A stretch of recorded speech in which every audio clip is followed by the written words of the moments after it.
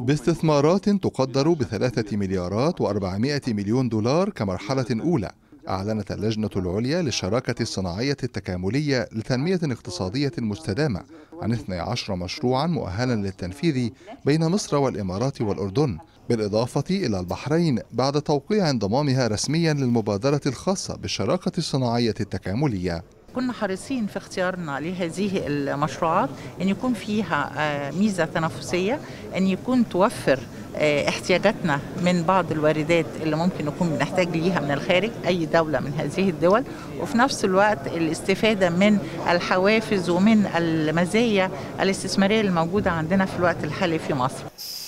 تستهدف المبادرة تحقيق التنمية الاقتصادية المستدامة وتعزيز الأمن الغذائي والدوائي.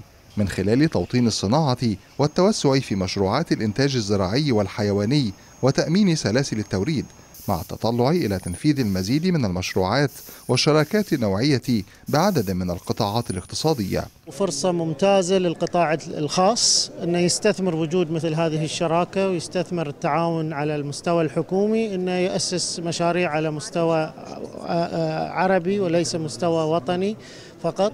وأنه يستغل هذه المبادرة في توسعة استثماراته وتوسعة مشاريع الصناعية أتمنى إن شاء الله أن يكون هناك في دعم مباشر للشركات الزراعية وتسهيل مهامهم خاصة في العقبات التي تواجههم لتحقيق منظومة الأمن الغذائي في الدول الأربع.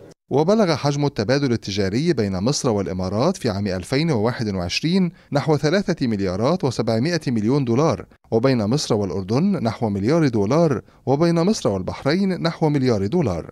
وتهدف هذه الشراكة إلى تعظيم التعاون الاقتصادي وفرص التبادل التجاري بما يعود بالفائدة على شعوب الدول العربية الشقيقة.